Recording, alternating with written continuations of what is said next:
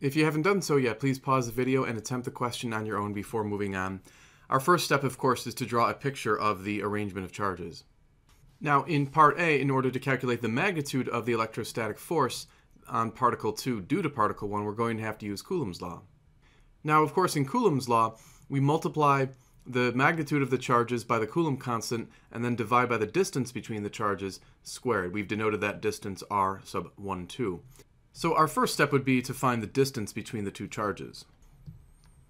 And to do that, we can use, of course, the distance formula. This is a formula you probably learned back in algebra. So, of course, all we need to do is plug in the x-coordinates and the y-coordinates of the two charges. So here the coordinates have been plugged in, and when you simplify that, you should get approximately 0.056 meters. So that will serve as the distance between the two particles. We are now ready to plug into Coulomb's law to get the magnitude of the force. So just a couple things to notice. Here is the distance that we just calculated. The value of k is this constant 8.99 times 10 to the ninth, of course. Also notice that we converted the charges into coulombs by multiplying them by 10 to the minus 6. So for example, Q1 was reported as 3 microcoulombs. We have to make sure we multiply that by 10 to the minus 6 to convert it into coulombs. And when we compute this, we get approximately 35 newtons, and that will represent the magnitude of the force that's acting on particle 2. And as for the direction of this force that's acting on charge 2, we'll want to take note that because charge 2 is negative and charge 1 is positive, there will be an attractive force. And so charge 2 is being pulled towards charge 1. And we've shown that attractive force with this red vector that's pointing towards Q1. And basically what we can do is form a right triangle between the charges and and then we'll note that the distance from here all the way to here could be determined by just reading off the x-axis. We know from here is 1, 2, and then 3, 4, 5, and a half. So that distance is 5 and a half. And then this distance here would actually be just 1. And if that's not clear from the picture, remember that y1, the y-coordinate on charge 1 was 0.5 centimeters. The y-coordinate on the other charge is 1.5 centimeters. So the difference between them would just be 1 centimeter.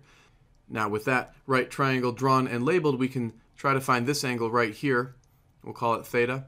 And of course we can use the tangent function because we have the opposite side of theta as well as the adjacent side.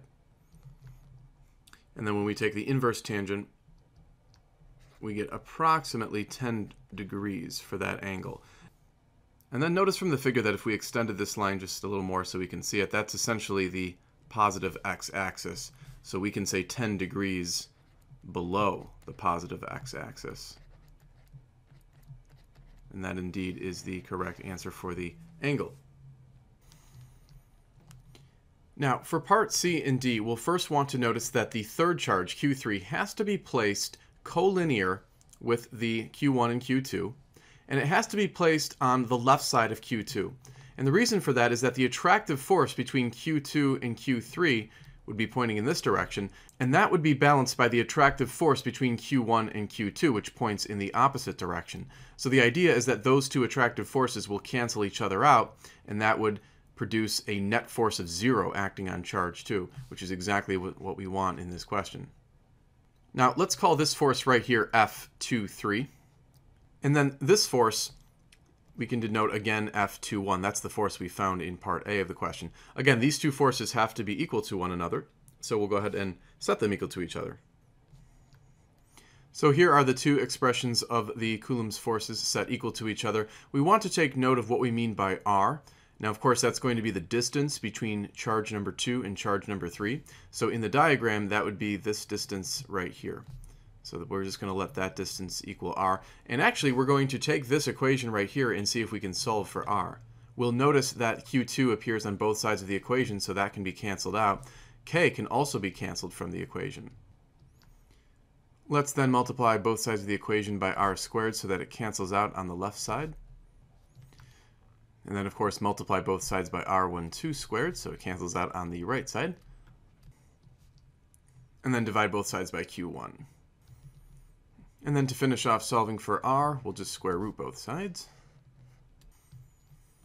And now we can plug in the known values. Recall that Q3 and Q1 are both given in the question, and then R sub 1, 2 was that distance we had found earlier between charge 2 and charge 1. And when you compute this down, you should get approximately 0.0647, and that would be in meters. We're going to find it helpful to convert that to centimeters, so we just multiply by 100, and we get approximately 6.47 centimeters. And that's going to represent the distance that we labeled r in the diagram over here. Now, let's recall that we had found an angle of 10 degrees right there that we found earlier as being 10 degrees, which means that an angle right here would also be 10 degrees. Now, of course, through trigonometry, we know that the adjacent side right here would be the r times the cosine of the 10 degrees, and then this opposite side would be r times the sine of 10 degrees. Now, since we have the value of r as 6.47 centimeters, we can plug that in here and here, and that's going to give us the adjacent side length and the opposite side length. And when we do that, the adjacent side turns out to be 6.37 and the opposite side is 1.12. That's going to help us find the actual coordinates of this charge. Remember, that's our goal right now. This is charge Q3. We need the x and y coordinates. Well, we know the x and y coordinates of this negative charge here.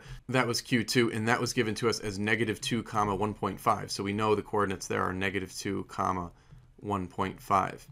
Well, to go from charge Q2 over to charge Q3, we just have to move backwards along the x-axis. So essentially what we're going to do is subtract the 6.37 from this x-coordinate.